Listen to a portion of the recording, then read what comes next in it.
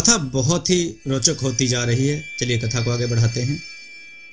महाराज ने कहा, तुरंत शहर में मुनादी करवा दी जाए कि जो कोई चोर तथा मेरी पुत्री को महल में पहुंचाएगा, उसे राज्य के कोष से एक करोड़ रुपए इनाम दिया जाएगा। मंत्री ने कहा, अभी आपकी आज्ञा सबको सुनाता हूँ। इतना कहकर वे चले गए और थोड़ी देर में पुनः आकर उपस्थित हुए। महाराज ने कहा, सारा प्रबंध कर दिया। मंत्री ने कहा, हाँ महाराज। महाराज की आज्ञा के अनुसार सारे शहर में मुनादी करवा दी गई है और सिपाहियों को भी चारों तरफ़ भेज दिया है। भगवान की कृपा से अवश्य आप बेटी मंजूषा को पाइएगा। शौक करने से कोई लाभ नहीं महाराज, धैर्य रखिए। ऐसे समय धैर्य को खोना अच्छा नहीं है। महारानी ने रोते हुए कहा, आह, मेरी एकमात्र बेटी थी, वह भी चली गई। भगवान किस पाप का दंड मुझे दे रहा है? मंत्री तथा महाराज ने अनेक प्रकार से महारानी को समझाया और सबका हृदय शांत करते हुए मंत्री अपने महल में पधारे। वहाँ पहुंचकर उन्होंने सारा हाल अपनी पत्नी शर्मिष्ठा देवी से कहा, जिसके जवाब में शर्मिष्ठा देवी ने दुख प्रकट किया और वह महारानी को सांत्वना देने के लिए राजमहल आ पहुँची।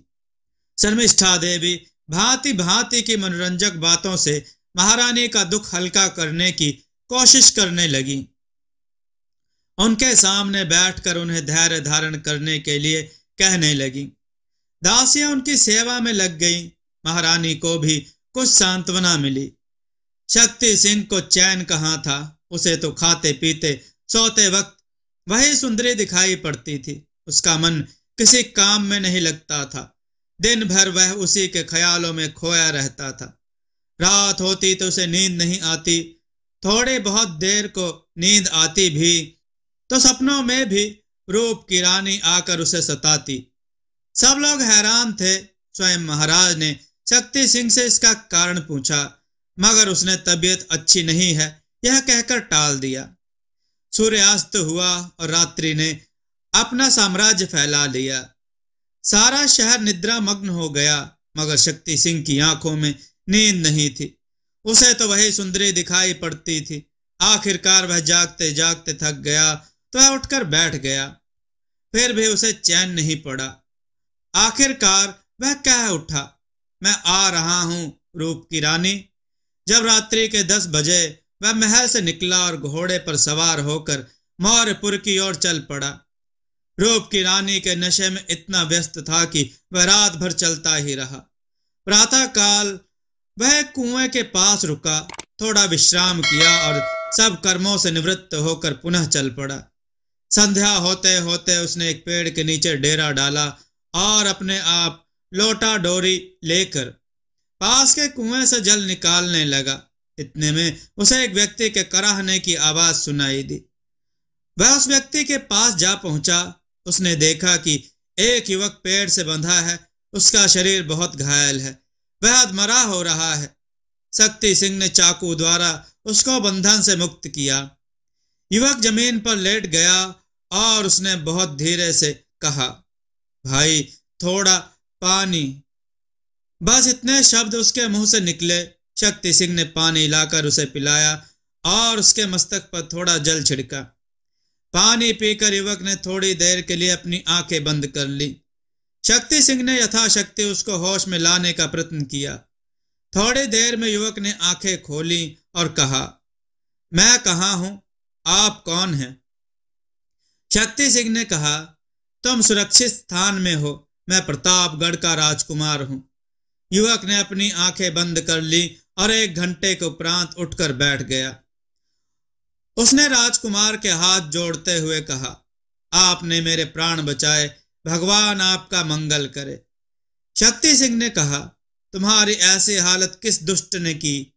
युवक ने कहा, मेरा नाम सुंदर है, मैं आपके ही राज्य, प्रतापगढ़ के सेनापति के सौ घुड़सवारों में शामिल होकर प्रतापगढ़ की पहाड़ियों में रघुवर सिंह और साहब अली को पकड़ने के लिए गया था। वहाँ हमला करके हमने बहुत से डाकुओं को निपटा डाला। कुछ नकाब पोष बच निकले। मैं उनका पीछा करते करते यहाँ तक आया, मगर वे मेरी आँखों में धूल झोंक कर निकल गए। मैं एक ढीले, मैं एक टीले पर खड़ा था। तभी मैंने देखा कि बीस पच्चीस नकाब पोश एक सुंदरी को पकड़ कर लिए जा रहे हैं। सुंदरी की आँखों से आँसू की धार बह रही थी। तुरंत ही मैं घोड़ा दौड़ाता हुआ उनके सामने पहुँचा और जब मैंने सुंदरी को छोड़ देने के लिए कहा तो मुझे देखते ही वह सुंदरी ज़ोर ज़ोर से रोने लगी। इतने में एक नकाब पोश मेरे सामने आया और उसने हंसकर उससे कहा, सुंदरी तो मुफ़्त में अपनी जान मत जाया कर और चुपचाप चली चल।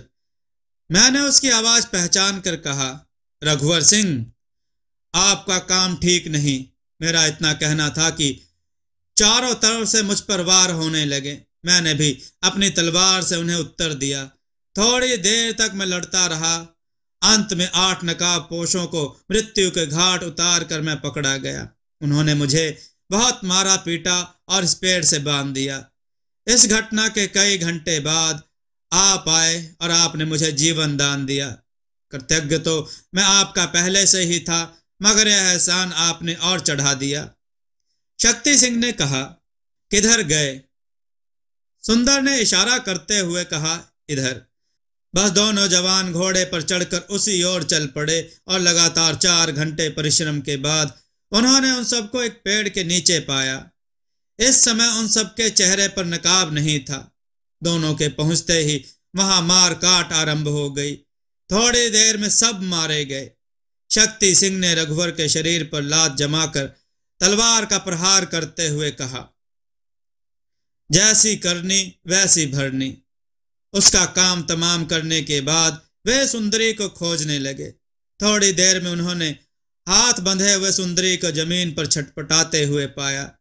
शक्ति सिंह शक्ति सिंह उसे देखते ही आश्चर्य में पड़ गया और उसके मुँह से हठात निकल पड़ा, रूप की रानी, तुम वह सुंदरी भी हक्की बक्की रह गई।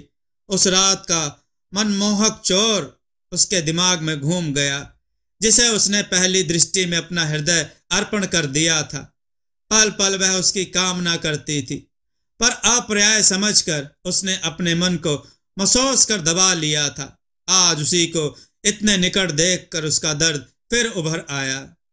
शक्ति सिंह ने सुंदरी को बंधन से मुक्त किया। वह इतने वह इतने नाजों से पली, महल की रहने वाली राजकुमारी, एकाएक इतने आघात, भय, ताड़ना, आश्चर्य झेल ना सकने के कारण बेहोश हो गई। शक्ति सिंह उसका सिर अपनी गोद में रखकर उसे होश में लाने का प्रयत्न करने लगा। थोड़ी देर में सुंदरी ने आँखें खोली और कहा, आप कौन हैं? शक्ति सिंह ने कहा, मैं प्रतापगढ़ का राजकुमार हूँ। इस बात को सुनकर सुंदरी चौंक उठी और उठकर बैठ गई। शक्ति सिंह ने कहा, आप घबराइए नहीं, मैं आपके पिता के पास आपको पहुँचा दूँगा। सुंदरी ने कहा, मगर आप वहाँ नहीं जा सकते, आप चोर हैं, मुकुट के भी और मेरे भी। सब यही समझते हैं कि आपने ही मेरा अपहरण किया है। शक्ति सिंह ने कहा, मैं आपकी बात समझ गया, मगर वह बात नहीं है। अब वह मुकुट चुराने का कारण आपको बताता हूँ। इतना कहकर उसने अपनी परीक्षा का हाल कह सुनाया। मंजुषा थोड़ी देर तक शक्ति सिंह का मुख देखती रही, जैसे विश्वास करने का प्रयत्न कर रही हो, फिर कहने लगी, अब आप चाहे कोई भी हो, मैंने पति के रूप में अब आपको ही वर्ण कर लिया है। शक्ति सिंह के मन की कामना पूरी हो गई। इसके बाद तीनों ने निश्चय किया कि रात भर यहाँ पड़े रहना ठीक नहीं कोई और नई आफत न आ जाए। महाराज मोरेश्वर के राज्य की ओर बढ़ना ही ठीक रहेगा और सब चल पड़े। सवेरा होते होते सब महल में जा पहुँचे। मंजुषा ने सारा किस्सा अपने माता पिता को कह सुनाया और यह भी कहा कि मैं इन्हीं से विवाह करूँगी। पहले तो महाराज को मुकुट चुराने वाले पर बड़ा क्रोध आया, मगर जब उन्होंने पूरी घटना सुनी तो उनके मन का सारा मलाल दूर हो गया। वे बहुत प्रसन्न हुए और यह जानकर कि वह प्रतापगढ़ का राजकुमार है। उनकी खुशी का ठिकाना नहीं रहा। महाराज के हृदय में अपनी पुत्री के विवाह के संबंध में जो दुश्चिंताएँ छाई थी, वे सब दूर हो गई। उनका मन खुशी से खिल उठा। उन्होंने मंजूसा का विवाह राजकुमार शक्ति सिंह के साथ पक्का कर दिया और शक्ति सिंह के पिता को आने का न्योता भेजा।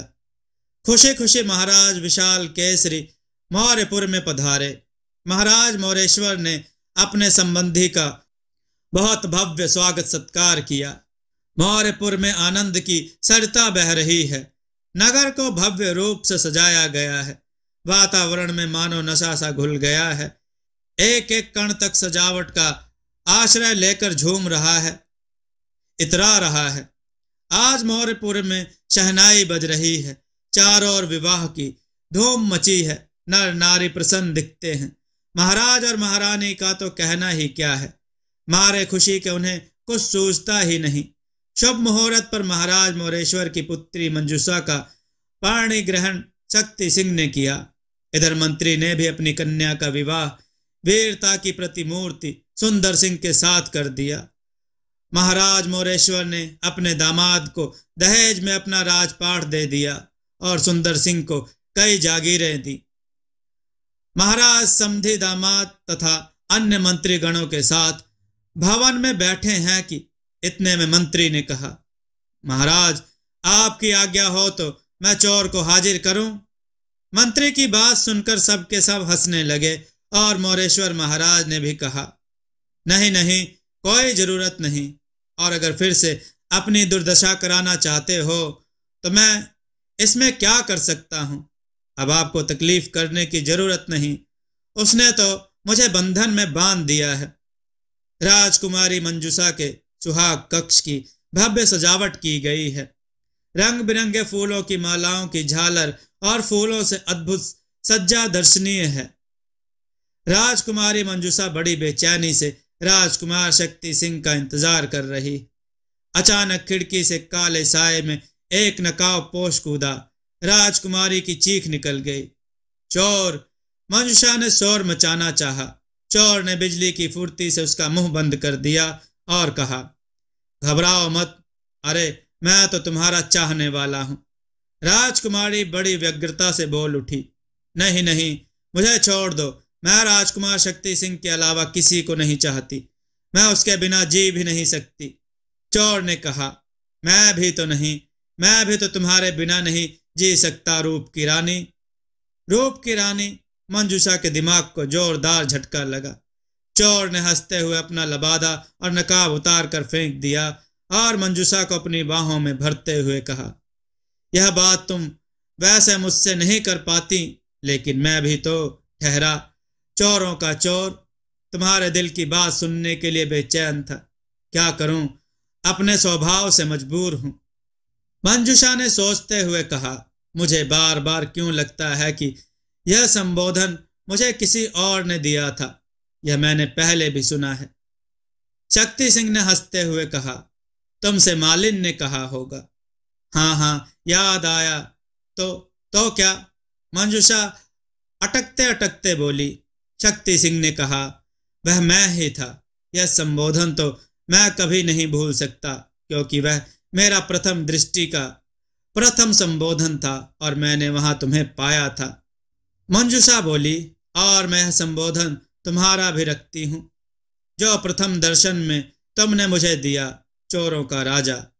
दोनों खिलखिलाकर हंस पड़े और संवेद स्वर में बोले, खूब गुजरेगी जब मिल बैठेंगे दीवाने दो, रूप की रानी, चोरों का राजा।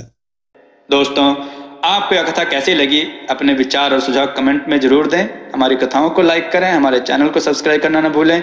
हमारी कथाओं को शेयर ज़रूर करें, जिससे लोगों को अच्छा ज्ञान प्राप्त हो। जय श्री राम भक्तों।